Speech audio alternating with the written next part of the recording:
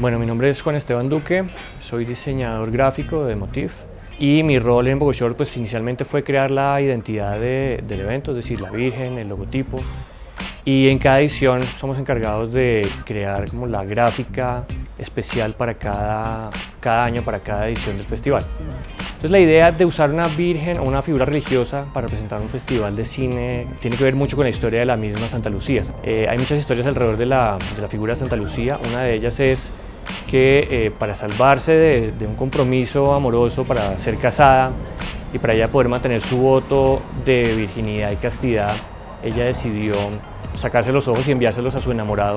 porque su enamorado decía que eran sus ojos los que la lo tenían perdidamente enloquecido por ella. Y otra cosa es eh, el tema de la fe ciega, eh, y es un poco una metáfora de la fe ciega en lo que uno hace. Aquellos que están dedicados a la producción audiovisual, a los cortos, al cine, para poderse dedicar a eso necesitan una fe ciega. La figura original está representada de muchas formas, además porque hay muchas diferencias en, en las torturas que ella recibió, entonces se cuenta por un lado que le cortaban la cabeza, en otras historias cuentan que le atravesaban el cuello con una espada, otras veces aparece con un ramito de una palma, otras veces con una bandeja con un par de ojos, pero siempre con los ojos abiertos.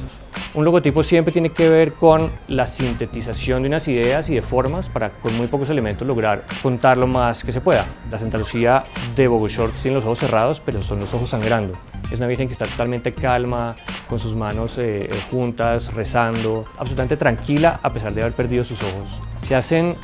25 eh, estatuillas,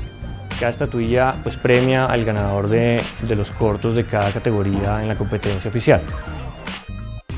Aquí se pueden ver los rasgos principales que son pues la vestimenta, la indumentaria, que es como esa vestimenta totalmente solemne, la aureola que habla de su santidad, y otro elemento son los ojos, los ojos sangrantes, pues que en la estatuilla no están presentes, son muy difíciles de representar en términos del material, pero que en el logotipo sí están y que son la representación de esa fe ciega. Entre las personas que siguen a Santa Lucía se habla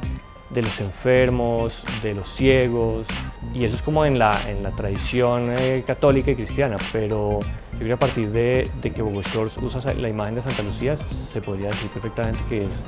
eh, la figura religiosa de los, de los cineastas y de quienes hacen cortos.